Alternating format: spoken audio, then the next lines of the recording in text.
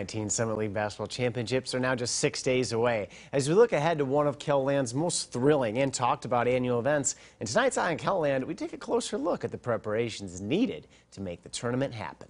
Come Saturday, center court at the Denny Sanford Premier Center will take center stage. We're really looking forward to it. It is, it is in a sense, the Sioux Falls Super Bowl. Just as it's the players and the teams who give March its madness, these teams at the Sioux Falls Sports Authority, the Summit League, and the Denny Sanford Premier Center make the Summit League Basketball Championships a reality. It takes lots of people and it takes lots of time and support. Communication. Uh, so much communication. So that's with the Premier Center, that's with the Summit League themselves, that's with our volunteers. Uh, it takes about 150 volunteers and ball kids to put this on. It's a partnership uh, between the league and the Sports Authority. Um, and um, they have a lot of volunteers themselves that work the event. And uh, so we fit them in in key positions with our staff.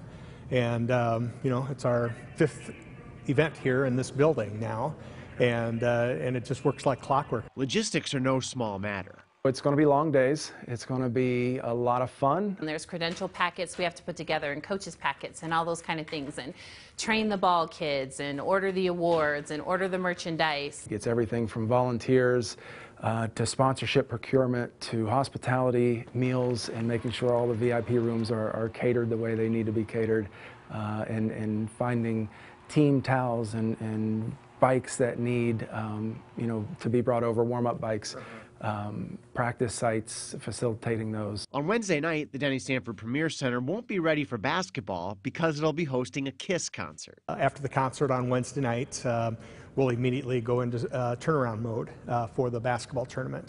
Um, we'll get the floor laid down and the hoops out and the chairs and um, all the dressing rooms will be ready to go. Uh, get the building cleaned uh, after that concert so that uh, the teams can uh, get in and uh, start practicing. Plans here depend on who exactly is playing. You know, as far as the day-to-day staffing, um, it, it is based in, in, large part on the matchups. Obviously, when uh, the South Dakota schools are playing or when schools closer to this area are playing, we have larger crowds. And so, um, you know, we just follow the, the schedule accordingly and uh, we staff up when we know it's going to be South Dakota teams. A lot of what the teams do is just perform. Um, they're just working their way to make the tournament. A lot of the prep work that we do with the teams comes in the off season. Um, we work with our student athlete advisory committees um, where they kind of give us feedback from all our events, not just basketball. All you have to do is look out at the stands to see that the Summit League basketball championships mean a lot to this town.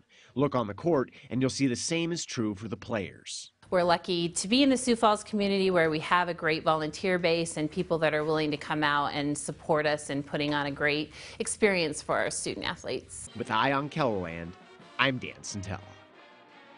And make sure you follow all the action on our special Summit League page at keloland.com. Sports